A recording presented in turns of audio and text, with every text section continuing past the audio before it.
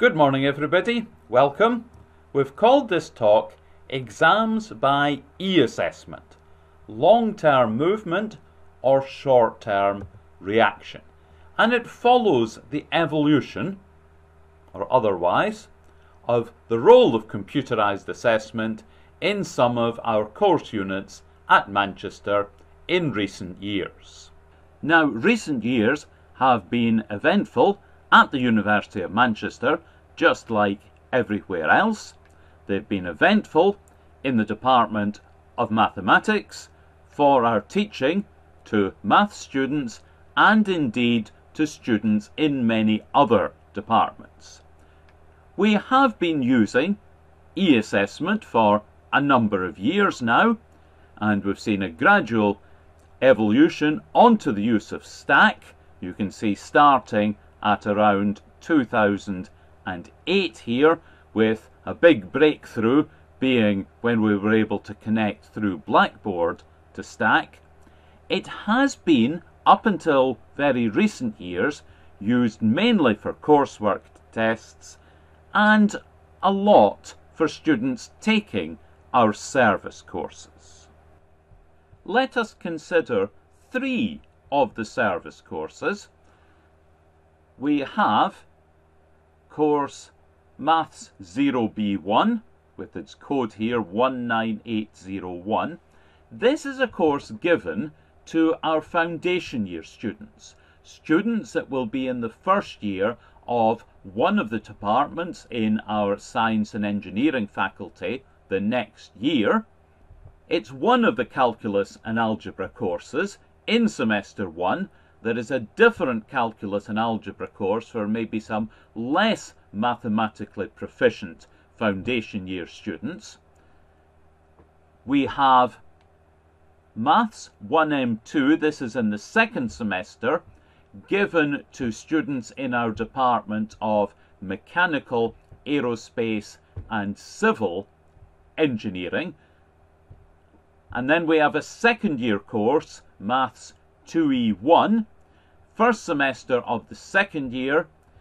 This is a course on Laplace transforms, vector calculus, linear algebra, two students in the Department of Electrical and Electronic Engineering. The two topics, Laplace transforms and vector calculus, are given by my co-author, Dr. Chernyavsky, with a further academic carrying out the linear algebra part. So let's cast our minds back to 2019 or earlier. And I've called this an era of blissful ignorance. We didn't know what was to come. Most courses were given in a traditional manner, two lectures and one tutorial per week. There were, of course, various thoughts about, well, should we be doing it this way? Can we be doing things in other ways? Already on the coursework, yes, a fair number of course units were using Stack or Blackboard or possibly something else for the coursework, the in-semester coursework, but exams were carried out in traditional format. So that's what we could consider to be the base that we're working from. For example, in 2019, with the semester 2 course happening in the early part of 2019, yes, we had two stack assignments.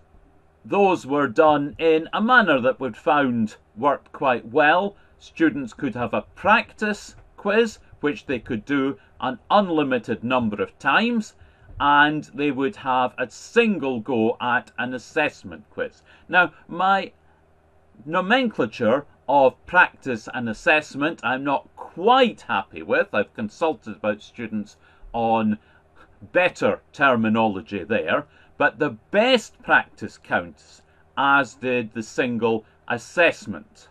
Those were carried out at times of the student's choosing within a particular window. The assessment version contained mainly the same question stems as the as the practice, but with different randomizations there. But from about 2016 onwards, yes, we did put in a couple of new questions. 19801, that's 0B1 to foundation year. We had the diagnostic follow up, which used STACK. The diagnostic exercise at the beginning of the semester told us were there particular topics that particular students needed to do some more work on, and we were able to use STACK to carry out the assessment part of the individualized program of work that we allocated everybody. But for the remaining ones, yes, we carried out written quizzes at the ends of certain of the tutorials during the semester. So this was previously, prior to 2020, it was a mixture of stack and traditional type coursework. In our course to second year electrical engineers, yes, we have for some time carried out two stack assignments for those students. So that's where we'd started from, but as 2020 progressed, it became clear that yes, everything would have to change. March to June 2020, quick move online, no in person events, I wouldn't quite go as far as to say make it up as you're going along, but certainly we did have to react quickly and to produce new forms of teaching for the students on really quite short timescales. As far as 19662 was concerned, which was running at that point, coursework 1 could run as normal, and indeed, coursework 2 ran as normal at a time where everything else was anything but normal. So I've described coursework 2 there as an island of normality. And then when it came to exams, that particular summer, June 2020, at Manchester, exams were cancelled and they were replaced by formative exercises we didn't have large numbers of students taking up those formative exercises, and those were carried out using traditional written means. If March to June 2020 could be considered make it up as you're going along, then the academic year 2020 to 21 certainly could not. Things were planned to a considerable level of detail. Videos and review sessions replaced the traditional lectures. All students were taught online. There had been hopes of having some classes on campus, but for various reasons that did not happen. Let's look at coursework for the two semester one courses during the autumn of 2020. For 2E1, second year electricals, two pieces of coursework taking place online as previously. As far as Maths 0B1 was concerned, diagnostic follow-up, yes, that was able to continue as normal, but the other tests, of course, they couldn't be carried out in the way they'd been carried out in previous years, and we moved them online using Stack in all cases reasonable time windows, practice and assessment versions using randomized coefficients, as indeed we'd always done. But simply moving things online didn't simply mean doing them without changes. Let's have a look at a couple of questions from 0B1. Here we see one particular question from 2019 the students were given an expression to put into partial fractions form. They wrote their working and their answer in the box. Now, a question like this was relatively easy to put into stack form. We probably already had a particular stack question which would do the job here. But let's have a look at another question here from 2019, we had asked the students to plot a particular graph. So we're coming to the conclusion that yes, there are some questions which would involve the students actually showing their working or showing a graph. So as a result of that, there were a few questions which used Stack but involved uploading a file for later human marking. So here we see an example of a question from 2020. Plot a rough sketch showing the function below and its derivative. So what the student needs to produce is a graph and while I'm sure that there are ways of getting the students to input what is subsequently turned into a graph in Stack, that's not the approach that we took here. We asked them to upload a file and then of course after the, the quiz it would be human marked but the student would see the solution for their question. Each student got a different randomized curve with, of course, a different appropriate derivative here. They could see their curve and their derivative along with, yes, what some slightly generic comments at the bottom here. But the markers could also see their curve and the derivative that they should have had and compare it with what they had produced. So it did involve some human marking, but it could be done in in a way that it was all done through Stack, recorded through Stack, and was not excessively time consuming. The beginning of 2021 took us into exam season, and the two first semester courses took slightly different approaches here. Now, at last year's conference, Igor gave a talk about his fully automated exam, including one question with a scanned solution, one question with text, that the students would get all of their own coefficients there, would carry this one out in their own locations at a specific time. Again, using stack, okay, we did have to use staggered starts for stack. Some of the setup at Manchester means that the e-learning team were not confident about having more than about a hundred starts within a five minute period, so we did have some staggering going on there, but this seemed to work well. The foundation year exam, it was actually a hybrid. On the same day, we had a one hour stack paper and a one hour written, scanned and uploaded paper. So we had those on the same day. Different approaches, yes, there were different approaches across the various papers there. Part of it was that, yes, it's excellent to be using e-assessment, but sometimes, yes, we would like to see the working there. And while not without its uh, detractions, the scanned and uploaded paper allows students to do just that. One question that was on the 0B1 stack paper was as here. Students are asked for an even function satisfying a couple of different conditions here. We see this particular student has put something in involving trig and of course has been marked correct although the stored answer that the computer had was, of course, one of many other functions that satisfy the conditions there. So we were able to use the flexibility of Stack there. We found that the exam season worked well with those particular papers.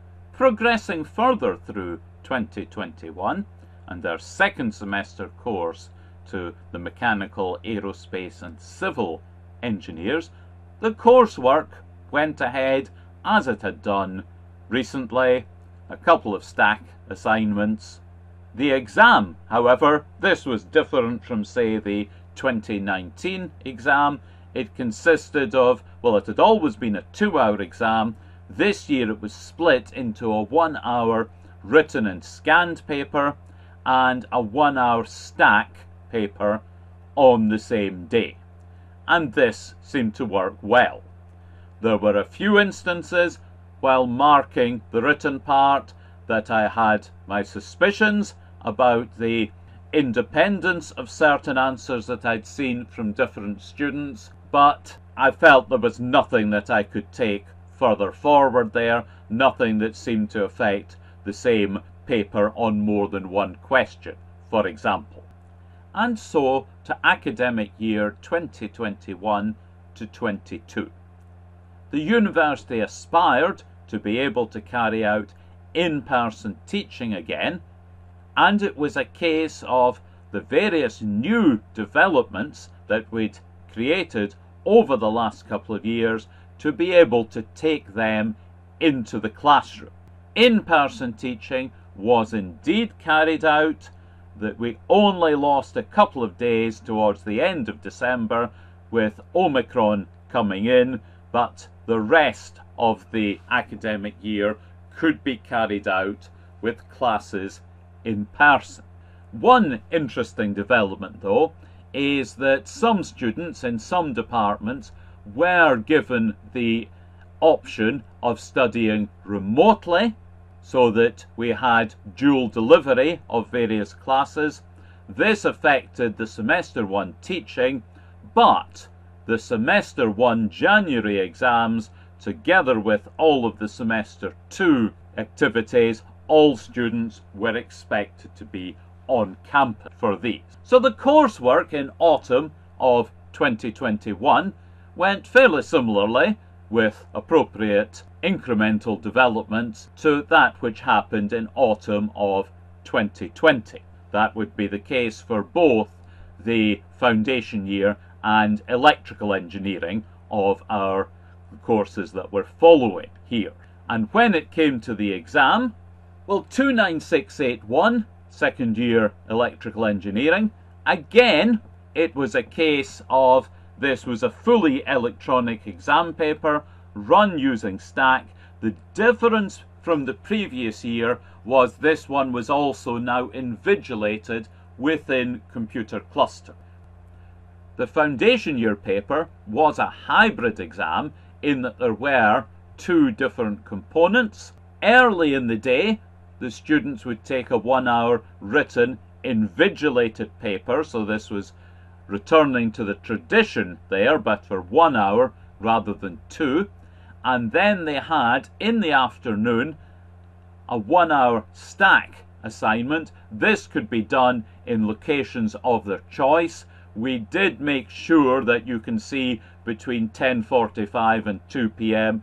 if they did need to travel some distance, for example, going home eh, on a commuter distance, then they were able to do that. I suppose it's fair to say that this year the 2E1 paper proved a little bit unpopular with students. Somehow it seemed that although the marks were not particularly low, some of the students took badly to invigilated conditions. Whether this was invigilation in a cluster or whether it was simply a return to invigilation, that remains to be seen there. But we do look at the possibility of carrying out invigilation for at least one of the pieces of coursework for autumn of 2022. Spring of 2022 saw coursework for Maths 1M2, couple of stack assignments. As previously, the setup of this is fairly routine by this point. But the exam for that course, yes, that was a new departure again, taking advantage of the facilities involved in things being on campus. So this was a hybrid paper, but two components invigilated and examined together.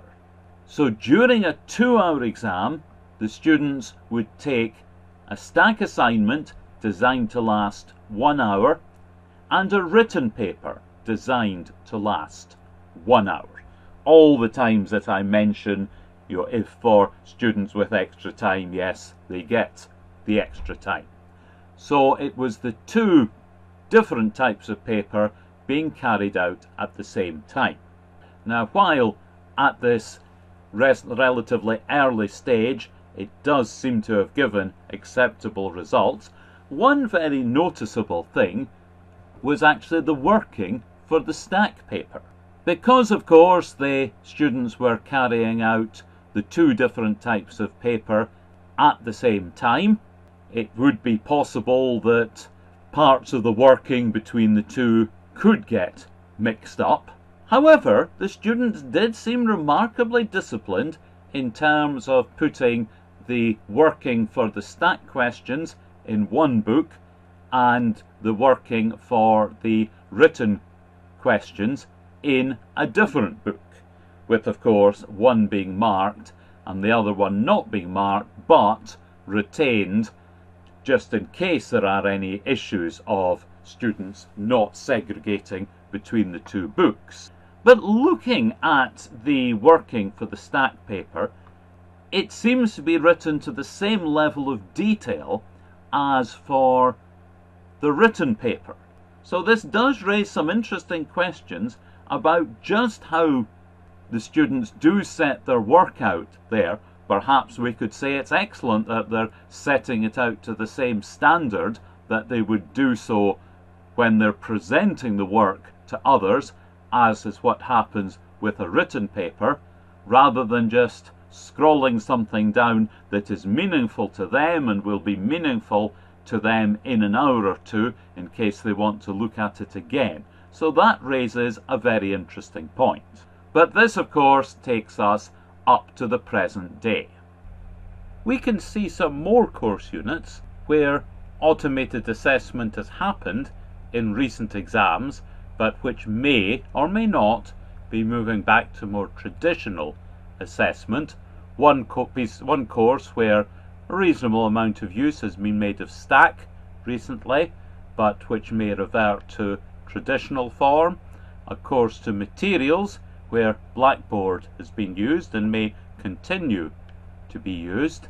A maths course on algebraic structures. This had had exams where students had written and scanned material.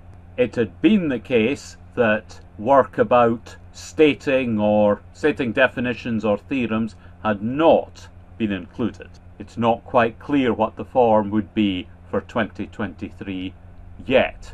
Similarly, there's one on differentiable manifolds where the scanned system has been used and where the lecturer is keen that it does go forward to the future in this form. So it does seem that yes, some courses, some papers may move back to more traditional forms of assessment.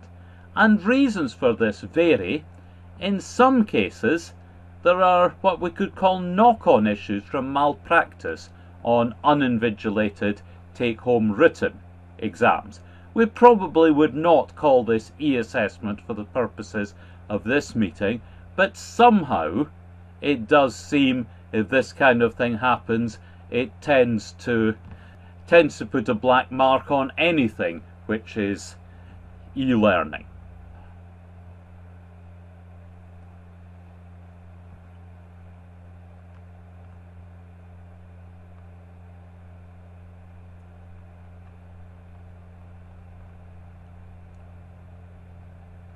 Sometimes it can be difficult when writing questions to write in such a way that all sensible answers worthy of some credit will actually be picked up in a potential response tree or via multiple choice.